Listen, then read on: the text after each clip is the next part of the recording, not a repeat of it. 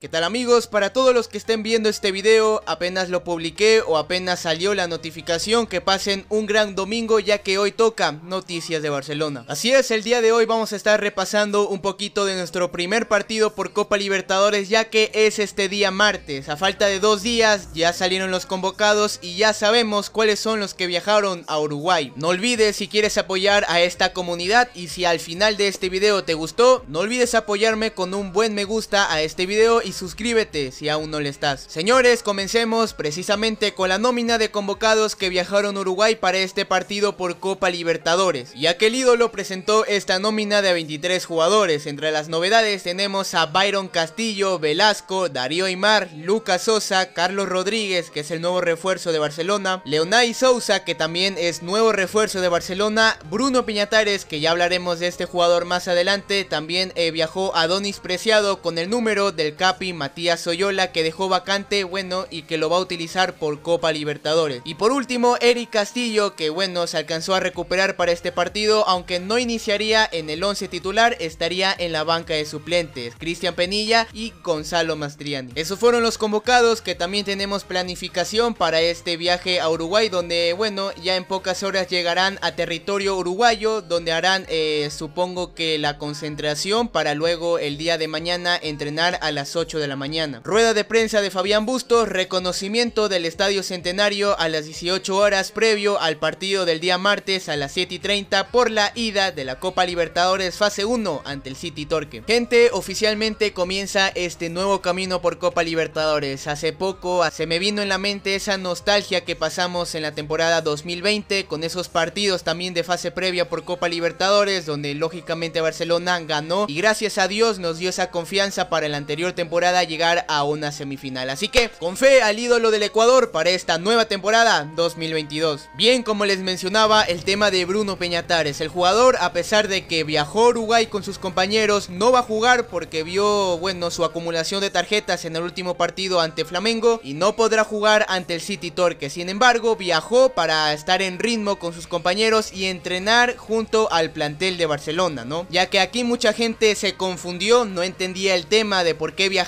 Bruno Peñatares y no iba a jugar el partido y bueno, otra gente comúnmente echándole la culpa a Bustos. ¿Ustedes qué opinan gente? ¿Hizo bien Barcelona? ¿Hizo bien el entrenador en llevar a un jugador que no va a jugar un partido solo para entrenar con sus compañeros? Comenten aquí abajo. Bien, siguiendo con la información y una muy buena noticia es que el entrenador Jorge Célico llamó a tres jugadores de Barcelona a una preelección para el Sud-20. De los 20 convocados que jugarán del 6 al 9 de febrero hay tres jugadores de Barcelona. Justin Corneja del Toreros FC, Jonathan Corozo, jugador ya del primer equipo junto a Leonardo Llanes. Muy bien por esos jugadores que se hacen llamar el futuro de Barcelona. Esperemos si algún día se tome más en cuenta las reservas y los jóvenes en el club. Bien, muy atentos señores, ya que para la gente que tiene alguna duda sobre el tema de Carlos Tevez, pues el presidente de Barcelona, Carlos Alejandro Alfaro Moreno, ya respondió sobre estos rumores de que si se va a quedar a jugar en Barcelona de que si le ofrecieron precisamente quedarse para disputar la Copa Libertadores, pues bien, mencionó lo siguiente. Me senté enfrente de él y le dije que estábamos felices de tenerlo en Guayaquil, que si tenía intenciones de seguir jugando al fútbol tenía las puertas abiertas de la institución para cualquier momento pueda volver. Carlitos tiene que resolver unos temas personales, que solo él sabrá cómo los afronta. Tiene una oferta de la MLS, pero le dijimos que nos tome en cuenta si decide seguir como futbolista y él solo nos agradeció por eso. Así es, esa fue la respuesta de Alfaro Moreno sobre el tema de Carlos Tevez, que sí reconoció que nos tome en cuenta si decide jugar como futbolista, tiene varias ofertas, pero lo primordial para Carlos Tevez ahora es su familia, y no, no va a llegar a Barcelona, y así lo confirmó Alfaro Moreno. Bien, también habló de un tema muy interesante, ya que Barcelona estaba suspendido de escribir a jugadores por una deuda hacia Querétaro de México. Así es, el presidente de Barcelona reveló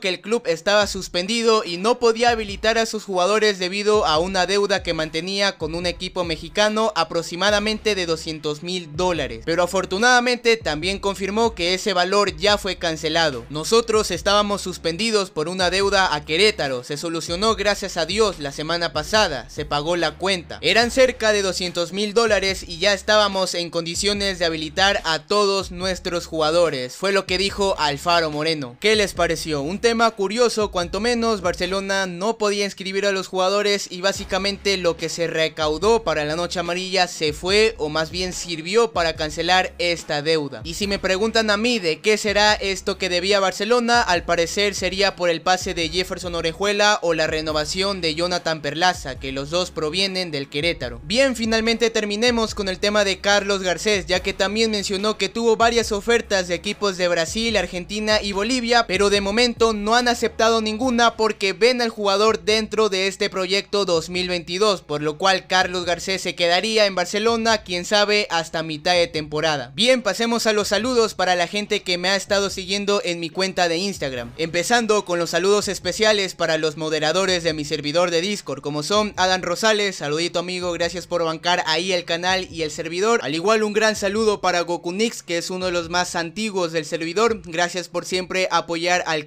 Y por último, un saludito para Tadeo Jara, que también se ha vuelto muy importante por Discord y por el canal. Quiero mandar un gran saludo para Amadeus Martínez, gracias por apoyar al canal y por seguirme. Isaac Ulloa, gracias por apoyar a esta comunidad, te mando un gran saludo. Eric, te mando un gran saludo si estás viendo este video, gracias por ese apoyo. Bien, eso fue todo por el video de hoy, espero que te hayas informado que es lo importante y nos vemos en el próximo video.